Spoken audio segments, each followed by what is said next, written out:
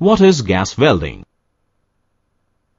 To understand the concept of gas welding, let's consider two metal plates and try to join them along their edges.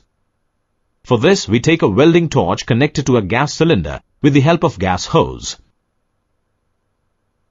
When we ignite the torch, we see that the gas is used as a fuel which produces a high temperature flame at the tip of the torch. Now let us bring the burning torch near the contact interface of the plates such that the flame only heats the metal plates but does not melt them. Now let's introduce a filler rod in the flame. We see that the filler metal melts and gets deposited at the interface, thus creating a weld pool there.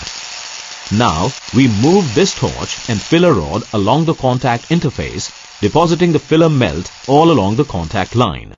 Now let's remove the torch and filler rod away from the plates. After some time, we see that this weld solidifies and a permanent joint is obtained known as weld seam.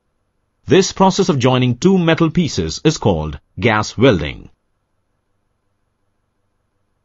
Thus, we can say that gas welding is a process of joining two metal pieces by heating them with a strong gas flame and depositing a filler metal at the contact interface.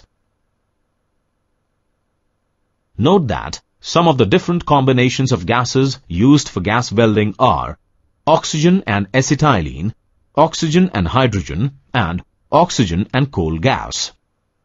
Related terms are